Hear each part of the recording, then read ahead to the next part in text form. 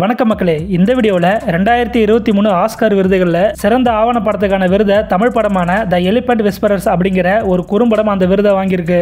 இது முதுமலை ரிசர்வ் ஃபாரஸ்ட்ல யானைகளை பராமரித்து வளர்த்துட்டு வர பொம்மன் பெல்லி. அவங்களுடைய வாழ்க்கையை தான் இப்போ ஒரு குறும்படமா கார்த்திகை கோன்சால்வேஸ் அப்படிங்கிற ஒரு பெண் இயக்குனர் அந்த படத்தை இயக்கியிருக்காங்க. தெப்பக்காடு யானைகள் முகாமுக்கு தாயை இழந்த ரகு அம்மு அப்படிங்கிற ரெண்டு குட்டி யானைகளை அங்கே கொண்டு வராங்க. அந்த ரெண்டு யானை குட்டிகளையும் வயதான பொம்மன் பள்ளி குழந்தைகளை போல அதை பராமரித்து வளர்த்துட்டு வராங்க. அப்படி பராமரித்து வளர்த்துட்டு வர அந்த யானை குட்டிகளுக்கும் அவங்களுக்குமான உறவை தான் இந்த படத்தில் ரொம்ப அழகாக காட்சிப்படுத்தியிருக்காங்க.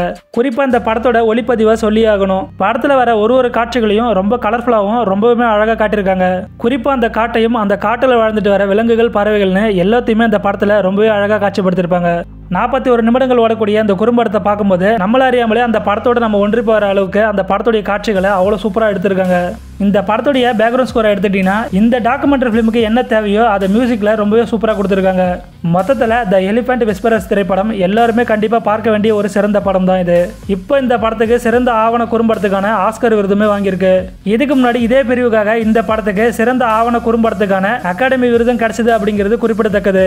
இந்த படம் இப்போ நெட்ஃப்ளிக்ஸில் அவைலபிளாக இருக்கு. அதோட இந்த வீடியோ உங்களுக்கு பிடிச்சிருந்தா நம்ம வீடியோக்கு ஒரு லைக் பண்ணுங்க ஷேர் பண்ணுங்க கமெண்ட் பண்ணுங்க. மறக்காம நம்ம சேனலை சப்ஸ்கிரைப் பண்ணிக்கோங்க. நன்றி வணக்கம்.